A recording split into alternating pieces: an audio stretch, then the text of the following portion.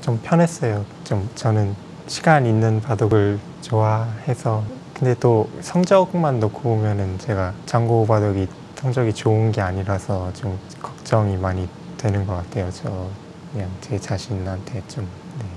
일단 랭킹이 높고 워낙 잘 두는 기사이기 때문에 쉽지 않다고 생각하고 있습니다. 초반에는 서로 공부돼 있는 대로 만만치 않게 갈 것 같고요. 중반에는 아마 좀 전투를 피하면서 끝내기로 가려고 할 것 같아요.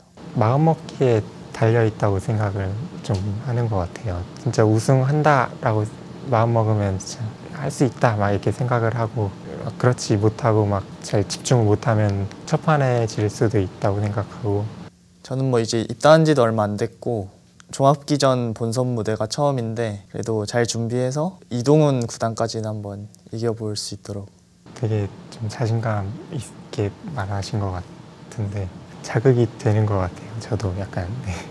제가 한 55% 정도 제가 이 대회에서 우승 경험이 있기 때문에 51%로 할게요 51% 정도 하기에 따라 우승도 할 수 있다고 생각하기 때문에 잘 좀 해보겠습니다. 많은 기대 부탁드립니다.